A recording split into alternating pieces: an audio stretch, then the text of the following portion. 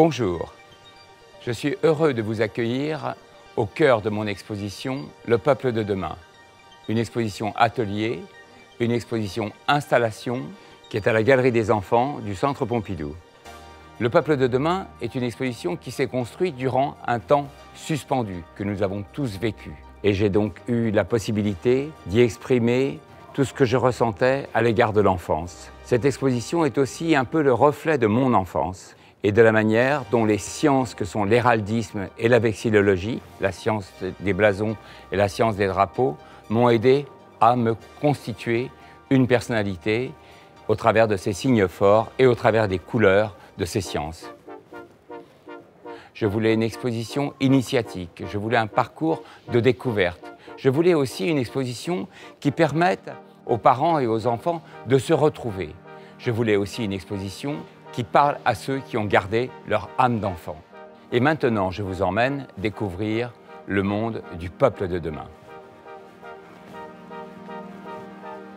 Il y a une convergence de signes dans cette installation. Le sol, l'immersion du sol, avec les drapeaux, les signes héraldiques, l'immersion des, des, dessins qui correspondent aux émotions. En dessinant, je voulais créer comme un camp, donner une dimension épique, comme dans le tableau La bataille de San Romano de Paolo Cello, où la convergence des lances, le travail vertical que vous pouvez voir, entraîne un rythme, apporte un rythme. Des références à l'histoire de l'art sont omniprésentes.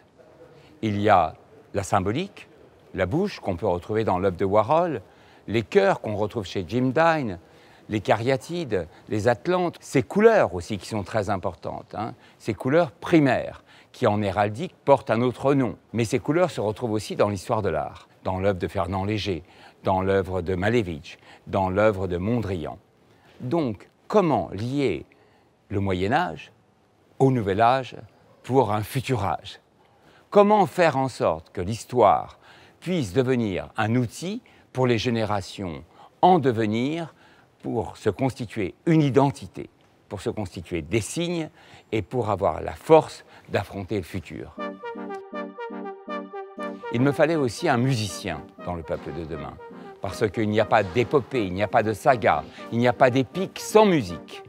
Donc j'ai fait appel à un jeune talent qui s'appelle Julien Granel, qui a mis des sons sur mes dessins, qui a mis des sons sur les émotions, qui a mis des sons sur les couleurs. Dans mon parcours de découverte, dans mon parcours d'initiation, j'avais besoin d'un élément fédérateur, d'un jeu fédérateur.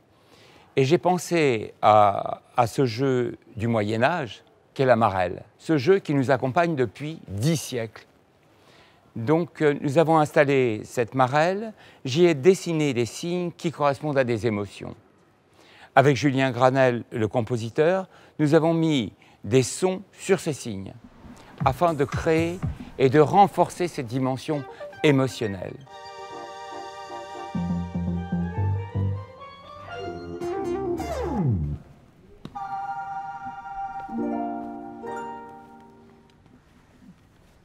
J'ai créé trois totems. Trois totems, un dédié à la ville, au culte de la ville, un pour la nature et un pour le cosmos. Ils participent à la construction des différentes zones de l'exposition. Par ailleurs, il y a quatre dispositifs. Un pour la création des drapeaux, un pour la relation entre les signes et le son, un pour l'interprétation des signes et un autre pour le mouvement du corps, hein, une sorte de chorégraphie.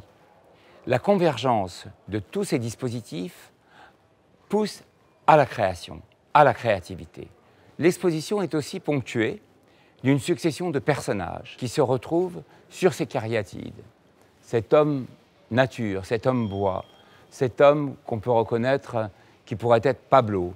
Chaque personnage a un nom et chaque personnage est mystérieux. Il y a autour de l'espace 24 drapeaux. 24 drapeaux qui correspondent à 24 émotions ou 24 missions qui peuvent parler d'écologie, qui peuvent parler d'amitié, qui peuvent parler d'Internet, qui peuvent parler de toutes les choses qui, dans notre société, sont en confrontation ou en proposition face au monde de l'enfance.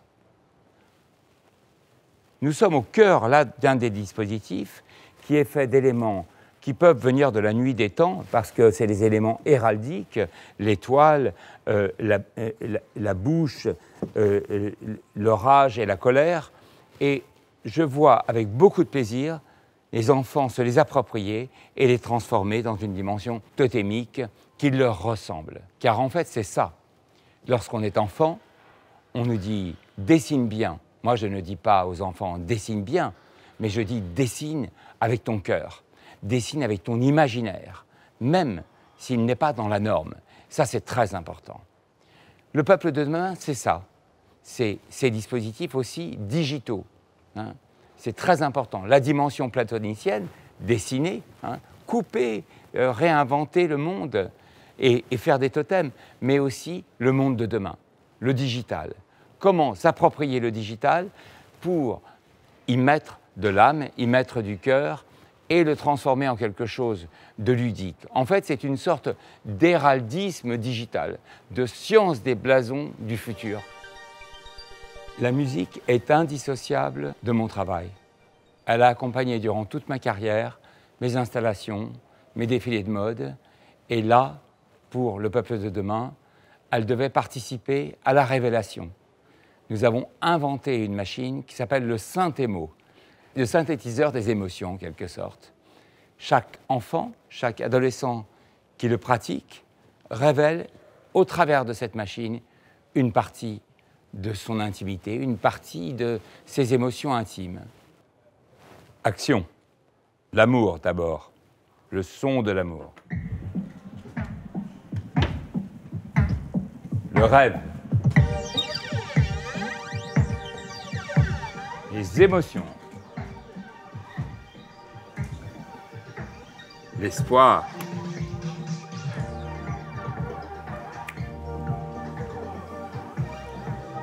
L'éveil.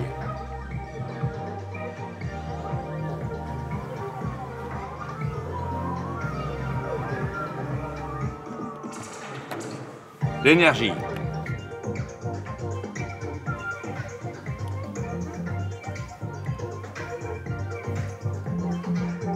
Le scratch.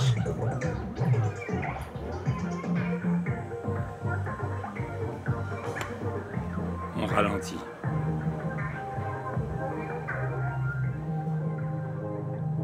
Et on éteint. Il y a être ensemble, il y a vivre ensemble et il y a créer ensemble. Euh, j'avais très envie d'une application et d'un pavillon qui soit dédié à cette idée. En l'occurrence, il s'agit d'un drapeau, d'un drapeau musical, d'une partition qui est née de la syntonie des acteurs. Donc il y a trois tablettes Chacun compose, chacun bouge des signes, des sons apparaissent et la finalité est l'œuvre commune.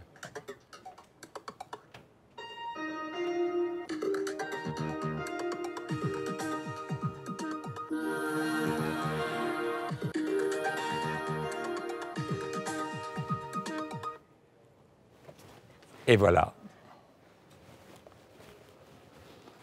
Voilà, nous sommes dans l'abri pour les passions emblématiques. C'est un, une des expériences euh, euh, que j'aime particulièrement parce que on y parle de création et on y parle de drapeau. Et je me disais que son pouvoir de rassembleur pouvait être la pierre angulaire pour les enfants de leur identité. Donc les enfants viennent ici, euh, s'installent autour de ces tables cœur et nuages rouges nuage rouge euh, euh, référence à la premier, au premier signal d'abstraction dans l'œuvre de Mondrian. Voilà, et l'enfant que je suis, alors je pense immédiatement bien sûr à la phrase de Cervantes, garde toujours dans ta main la main de l'enfant que tu as été. Dans l'héraldisme, cette simplicité de, l'expression au travers de dessins et de, et de signes très simples crée la force. Voilà un drapeau typique recommandé pour le peuple de demain.